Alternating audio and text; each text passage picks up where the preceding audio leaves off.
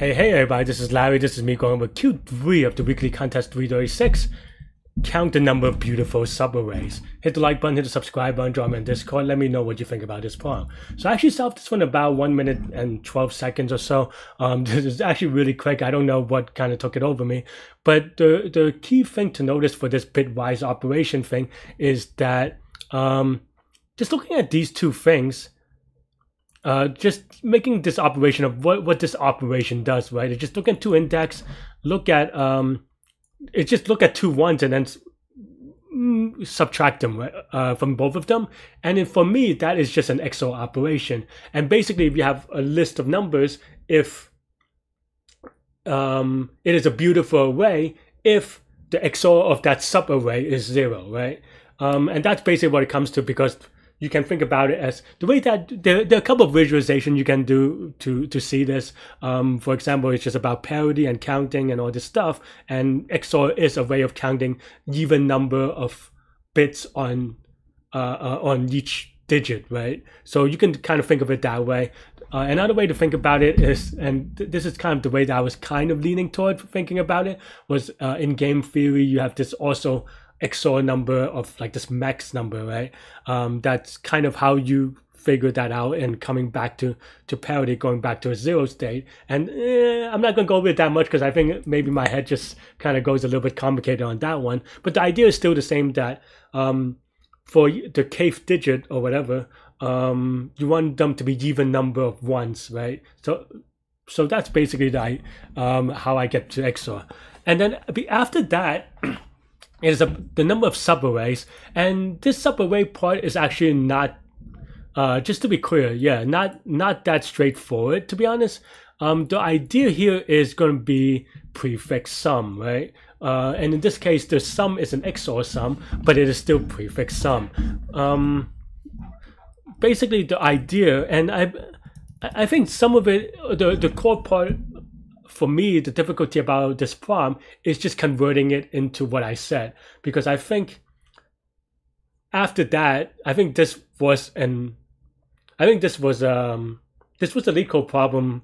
Like I, I I'm pretty sure the, the code is like 100% identical. I mean, maybe variable names or whatever. Um, um, it's just like I think there is a LeetCode problem that is like um, how many subarrays are are there of where the XOR is zero or something like this, right? And and the idea here is prefix sum. Um, uh, sorry, let me just pull up the painting thing so you could see it. I was going to like do some ASCII art, but then I was like, eh, maybe this is a little bit cleaner. So hang on. Sorry. Um, yeah. But basically, the idea is that you know, let's take a regular sum, right? Not an XOR sum. Um, and, and, then the idea is that okay let's say you, you uh, what the heck? You know let's say your prefix sum. what is going on here? Okay. Let's say your prefix sum is something like 1 2 5 you know 7 10 or whatever right?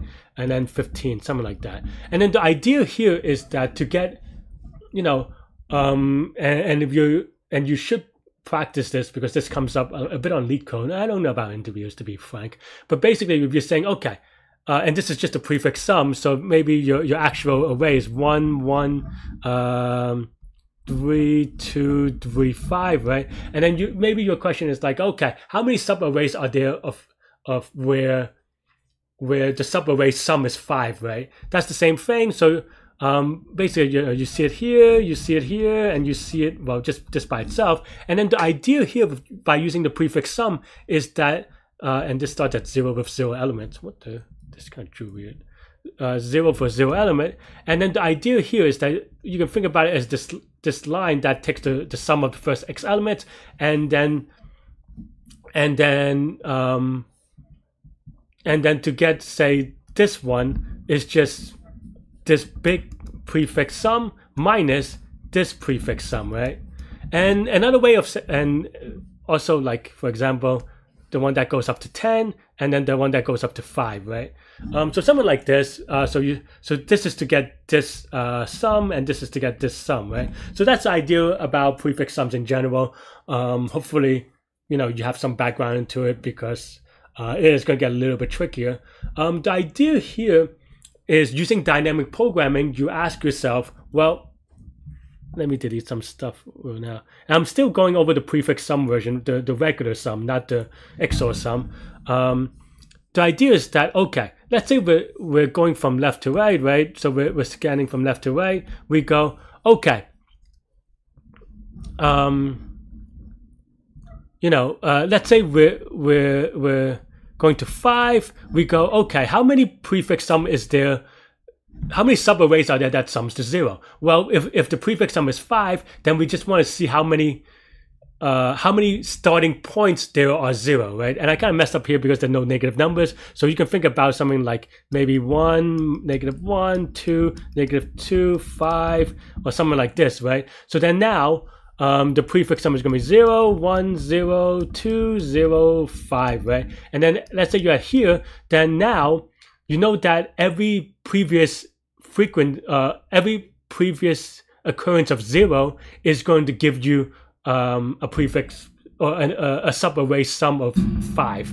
because um, because that means that you know for example this zero means that this prefix uh, or gets subtracted from this prefix is equal to five right? So this is five and same thing here right? This zero means that this prefix minus this prefix uh, is going to be 5 and so forth. So that's basically the idea behind prefix sum dynamic programming um, in terms of for frequency, right? So basically you're just going, okay, my current sum is 5. How do I get to, um, how do I, how many times have I seen 0 because that's the starting uh, point of an array where from 0 to 5, the sum is going to be 5, right? Okay.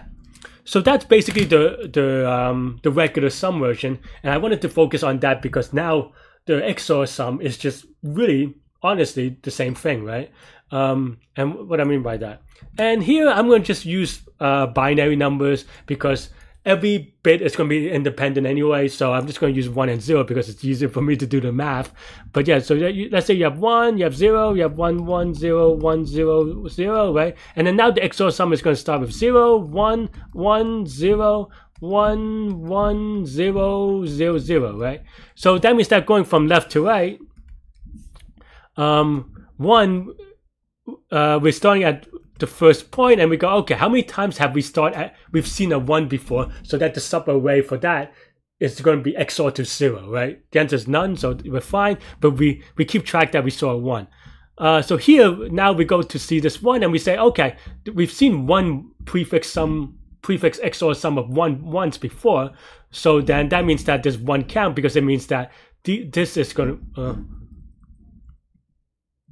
uh, um, because it means that did I mess up something? Hmm. Oh no no no no. Yeah yeah. Yeah because this means that um no no this is good. That means that all the the prefix because we know that uh let, let's call this uh, let's call this a and and you know right? What we're looking for is a xor some some k is equal to zero right and of course, if you know your XORs, then then you know k is just equal to a. So we're just looking for a number of number where the prefix XOR the the current prefix is going to be zero, and that's basically the idea uh, behind the code. And now I'm going to show you the code. Uh, hopefully, this is the background that I'm thinking of, right? Um, and a lot of this is just experience. Um, so don't think that I, I'm you know uh, whatever about it, right? Because I have struggles as well. But that's basically, uh, you know, I, I, this is for the frequency that we've seen before. We set zero as the first one. I've made this mistake many times. That's why now I know how to, uh, I know to do it. Um, for prefix sum, this is for the length zero indexes, right? Um, prefix length zero prefixes, and then for each one we update the prefix sum in the current, and then we see how many times we've seen it before because that that that um, those numbers will XOR to zero with the current thing, and then we just add one, and at the end we just return the number of times we counted, and that's that's the answer. Um, I actually did this in a minute and 12 seconds. I don't know how I did it. Uh, I think it's just one of those phases. But don't look up to me too much because Q4 was a disaster for me. Uh, but we'll go over that in another video if you're interested. But yeah, um, but this is going to be linear time and linear space because, well, seen just can kind of grow linearly. Um, but, you know, linear time, linear space is fine. And that's pretty much it. That's all I have with this one. Uh, let me know what you think. And yeah, you could watch me solve a live in the contest now. Wait, limited? Okay, fine. Number beautiful subarrays. And it's 10 to the 5th.